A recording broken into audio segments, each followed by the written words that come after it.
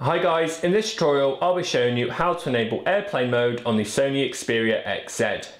Now when it comes to ways of uh, making sure you don't incur roaming charges when you're away on holiday, airplane mode is pretty much the, your best option.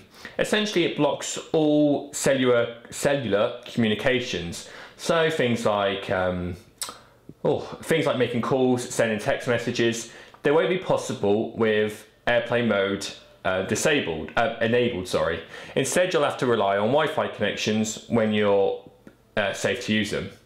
So again, like I said, if you've got a set contract and has set data allowance, um, going over that will incur roaming charges and they're expensive. So airplane mode is the way to go. To do this, open apps and press settings and you'll find airplane mode directly listed at the top and we could toggle it on there.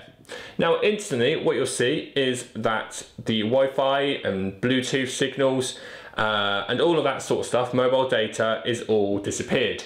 So everything like that, anything that basically costs you money when you don't, when you're not connected to the Wi-Fi has been disabled.